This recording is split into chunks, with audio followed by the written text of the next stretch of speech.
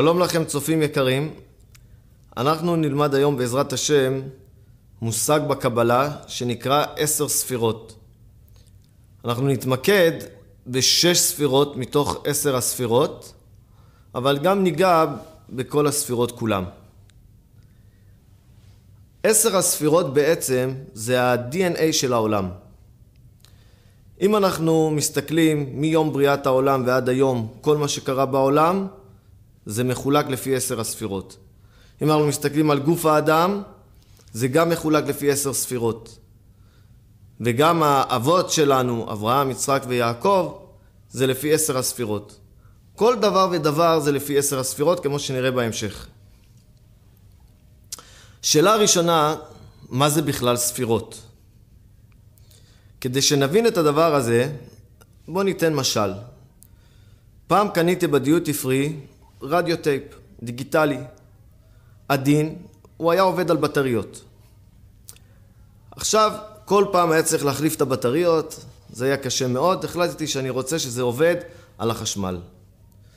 נכנסתי לחנות חשמל, למוצרי חשמל, וביקשתי שאני רוצה כבל לחבר מהתקע לתוך הרדיו טייפ.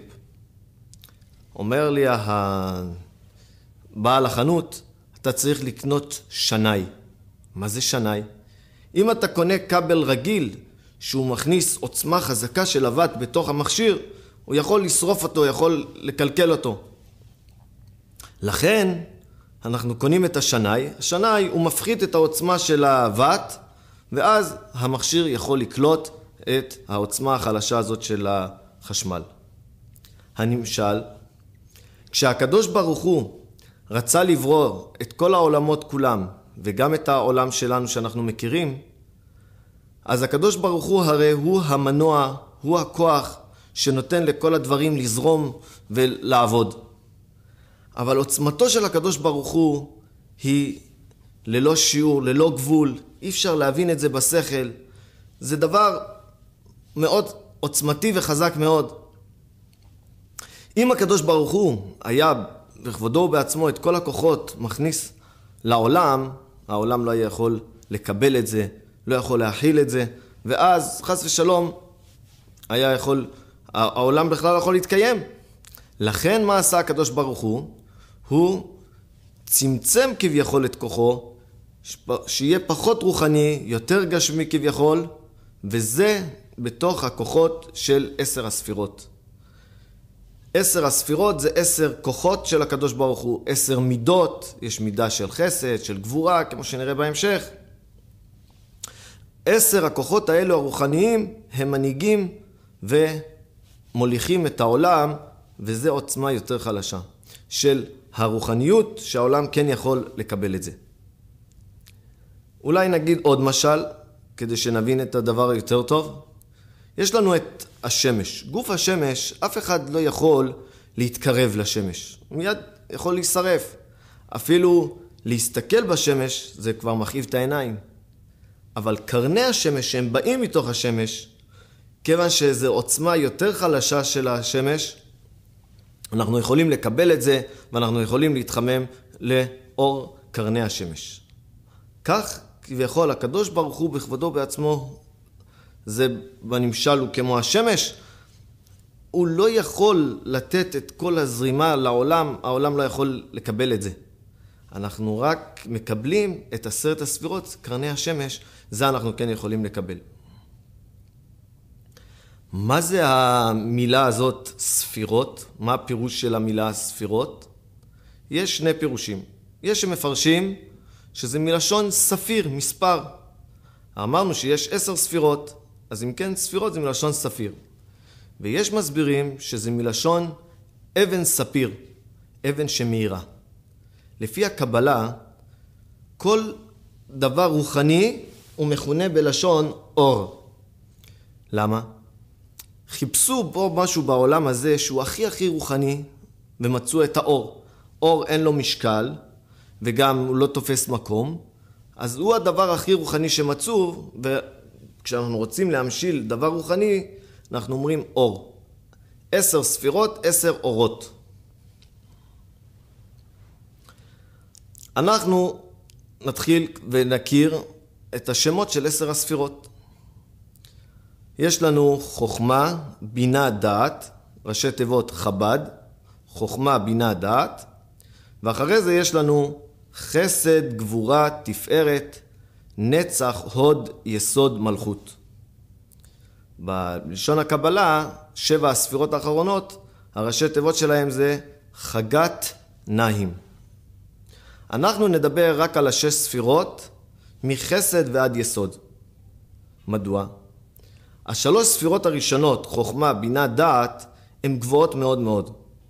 הן לא מנהיגות את העולם הזה שלנו, הן ינהיגו את העולם הבא שיבוא אחרי העולם הזה שלנו. לכן, השלוש ספירות הראשונות הן מאוד גבוהות, אנחנו לא מדברים בהן. ולמה את המלכות אנחנו גם לא מדברים בה? הספירות, שש הספירות שהזכרנו, חסד, גבורה, תפארת, נצח, הוד, יסוד, זה קרוי בלשון הקבלה זכר. ואילו המלכות היא נקראת נקבה. מדוע? בקבלה כל דבר שהוא משפיע הוא נקרא זכר, כמו הזכר שהוא משפיע. כל דבר שהוא מקבל הוא נקרא נקבה. שש הספירות הם בעצם אלו שמנהיגות את כל העולם הזה. ולכן הם הזכר, הם נותנים. ואילו הספירה האחרונה, מלכות, היא לא מנהיגה את העולם, היא רק מקבלת את השפע משש הספירות, והיא מחלקת את זה, אנחנו, תושבי העולם. לכן מה שאנחנו נדבר היום זה על שש הספירות. שש הספירות הן מחולקות בצורת שני משולשים. זאת אומרת ככה, תמיד ספירה ראשונה היא בצד ימין, ספירה שנייה היא בצד שמאל, והספירה השלישית היא למטה באמצע. ואז יוצא, הסדר הוא כזה, חסד הוא בצד ימין, גבורה בצד שמאל, תפארת למטה באמצע. ואחרי זה שוב פעם, נצח בצד ימין, הוד בצד שמאל, והיסוד למטה באמצע. מה זה אומר? כל אותם המידות, כל אותם הספירות שנמצאות בקו ימין, זה מידות, זה ספירות של החסד. מה שנמצא בצד שמאל, זה מסמל את הדין. חסד זה שכר טוב לצדיקים, ויותר נכון, זה חסד, זה שכר, זה עשיית חסד אפילו למי שלא ראוי, לכל העולם, חסד בלי גבול ושיעור. מצד שני, הדין הוא נותן את העונש, את הפורענות, ויש לנו את הספירות שנמצאות באמצע, זה נקרא ספירות הרחמים. שילוב של הדין והחסד ביחד יוצר את הרחמים. ואלו המידות הכי מושלמות והכי בריאות. הראשי תיבות של שלוש הקווים האלו זה חדר, חסד, דין, רחמים. עכשיו אנחנו נבין את הרמזים של המגן דוד. זה כל כך יפה. יש לנו משולש, ושוב פעם משולש שעולה לצד מעלה. זה רמז לאותם שני המשולשים שהזכרנו של שש הספירות. חסד, גבורה, תפארת, ואחרי זה יש לנו נצח עוד יסוד, שוב פעם משולש. נראה עוד דבר. אם אנחנו סופרים את הקצוות, את הקודקודים של מגן דוד, אנחנו נראה שש. שניים מימין, שניים משמאל, אחד למעלה ואחד למטה. כי זה רומז לשש הספירות. שש הספירות בלשון הקבלה הם נקראים וק. מה זה וק? ראשי תיבות. ו', שש, ק' קצוות. השש הספירות האלו הם מרמזים על שש קצוות של העולם. מזרח, מערב, צפון, דרום, מעלה ומטה. לכן גם פה המגן דוד יש לו את כל שש הקצוות, ארבע צדדים, למעלה ולמטה. נראה עוד דבר, יפה מאוד. כמה משולשים יש במגן דוד? שישה משולשים, וכולם דפוסים באמצע, במין עיגול כזה. מה זה אומר לנו? מספר שש ביהדות הוא מרמז על הגשמיות, על העולם הזה. למה? כי כל דבר גשמי יש לו שש קצוות, מזרח, מערב, צפון, דרום, מעלה ומטה. השבע הוא מספר רוחני. למה הוא מסמל את הרוחניות? כיוון שהוא מעל הטבע. ואנחנו רואים, ב... יש לנו ביום השביעי שבת, אחרי שבע שנים מגיעה שמיטה, אחרי שבע שמיטות מגיע יובל. סוכות זה שבעה ימים, פסח שבעה ימים, יש עוד הרבה דברים של שבע. גמרא אומרת כל השביעיות חביבין. שש זה מרמז על הגשמיות, שש הקצוות, ואילו השבע הוא מעל הטבע. לכן יש את שישה משולשים, זה רמז לגשמיות לעולם הזה, וכולם דפוסים באמצע, בשביעי, שהוא מעל הטבע. הקדוש ברוך הוא, הוא זה שתופס לנו את כל המשולשים. אנחנו כעת עכשיו נעבור ונראה איך כל מה שקרה מבריאת העולם ועד ימינו אנו, הכל הלך לפי השש הספירות שאנחנו הזכרנו. הגמרא אומרת, ששת אלפים שנה יהיה העולם, ולאחר מכן, באלף השביעי, אז הקדוש ברוך הוא מחריב את העולם הגשמי שלנו. אנחנו נחיה עדיין בעולם הזה, אבל אנחנו נחיה בעולם רוחני, פה בעולם הזה. העולם הגשמי הוא רק ששת אלפים שנה. כל אלף שנה הקדוש ברוך הוא הנהיג לפי ספירה אחת. האלף הראשון לפי חסד, האלף השני לפי גבורה, ואנחנו נראה את ההתאמה, איך כל מה שקרה באותו האלף שנים זה בדיוק מתאים לספירה שהקדוש ברוך הוא הנהיג את העולם. אנחנו גם נראה ונדגיש איפה הספירות נמצא, נמצאות בגוף האדם, וגם נראה לגבי האבות הקדושים. אנחנו יודעים שבסוכות יש לנו שבעה אושפיזין, שבע אורחים שבאים לסוכה. שבע האורחים האלו זה כנגד שבע הספירות, כולל גם הספירה האחרונה של המלכות. אז נתחיל. האלף הראשון של העולם, הקדוש ברוך הוא הנהיג את העולם במידת החסד.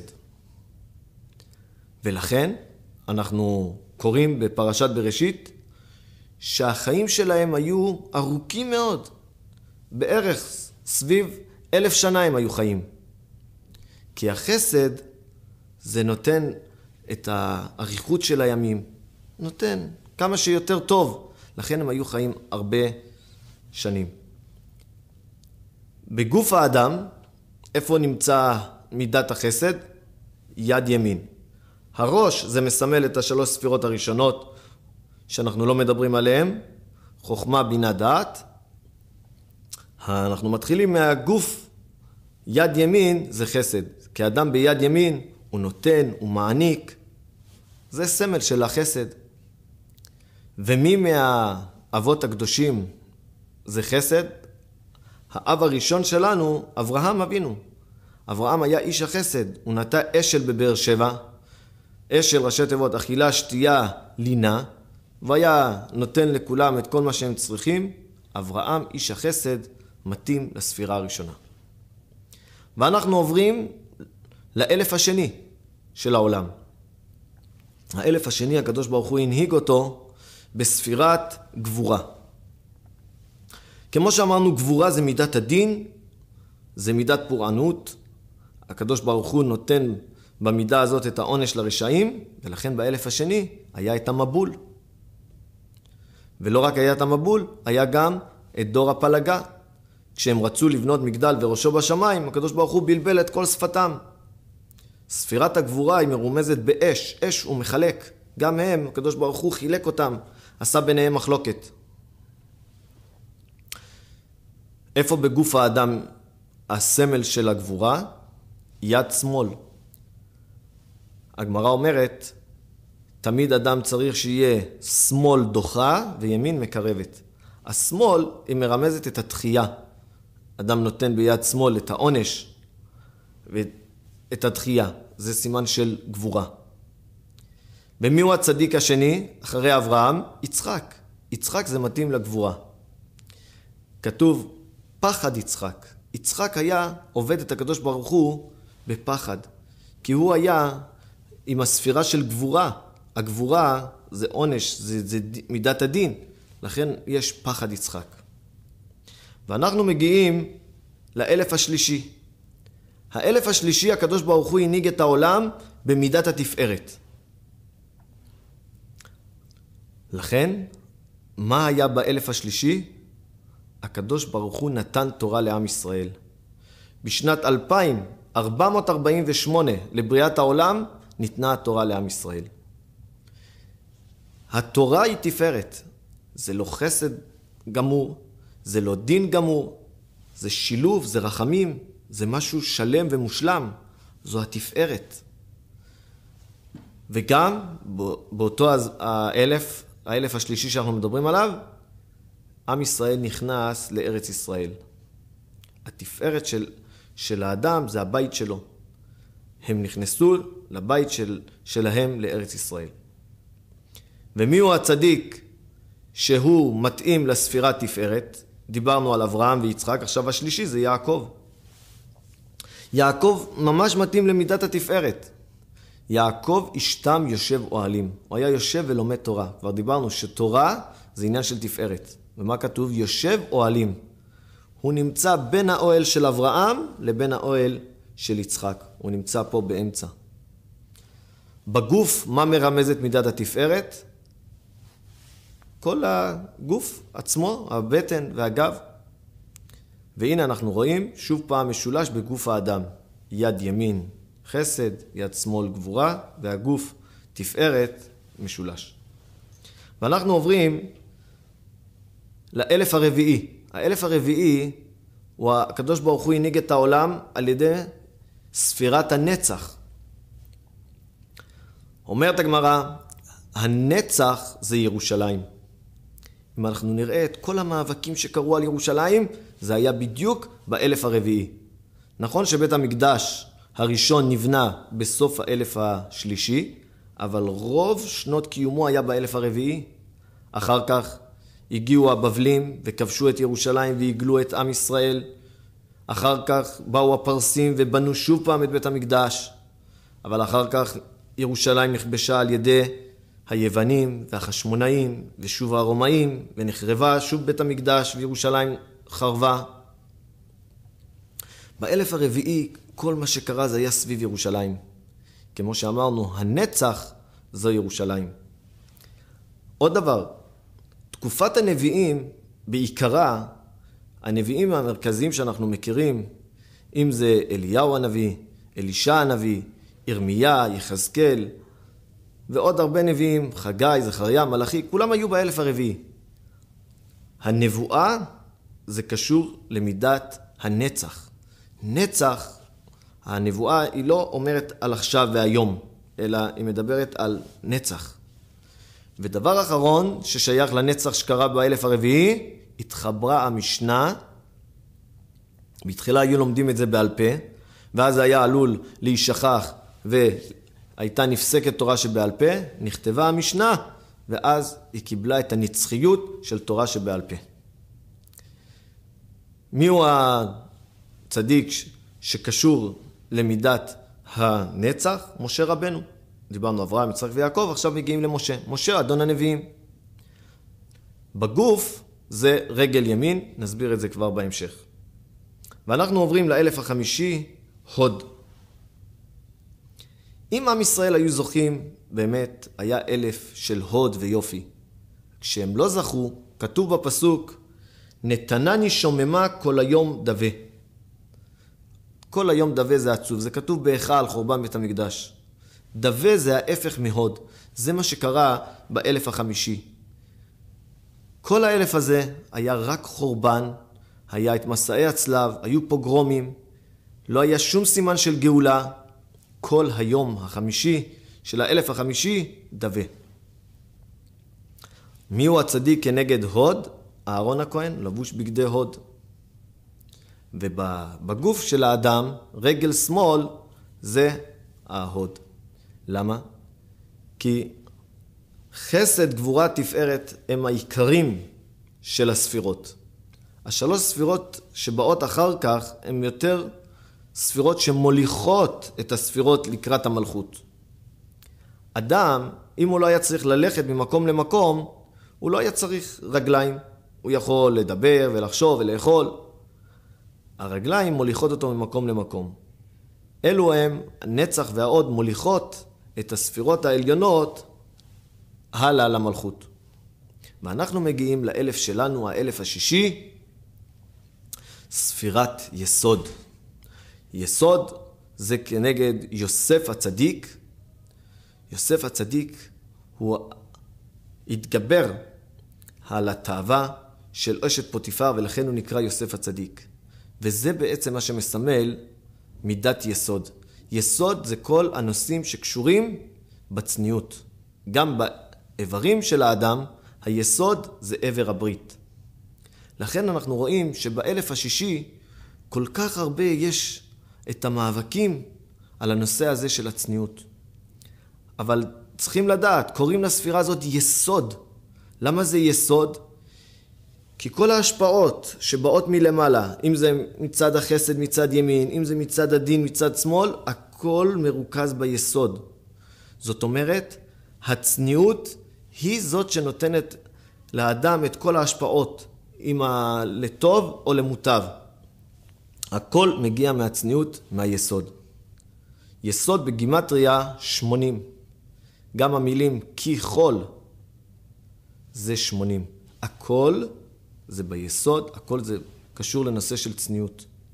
אומר בספר הרוקח, אדם תמיד מחפש איך לפתוח את המזל, מה לעשות שהמזל יהיה טוב. הכל קשור בצניעות. אדם ששומר על הצניעות, המזל שלו נפתח. להפך, להפך.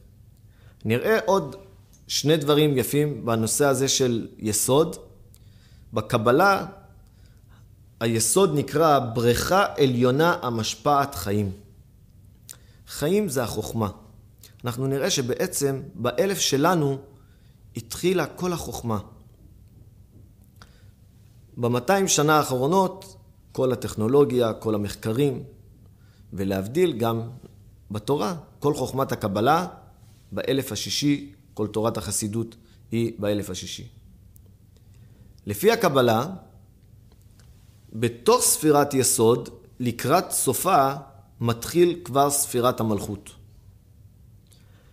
ואכן, אנחנו עכשיו נמצאים באלף השישי, 770. מהחצי השני של האלף השישי, אנחנו התחלנו נושא של מלכות. התחילה הדמוקרטיה בעולם. אנשים, כבר אין עבדים. כל אחד הוא חופשי, הוא מלך לעצמו. וגם מלכות ישראל חזרה בקטן.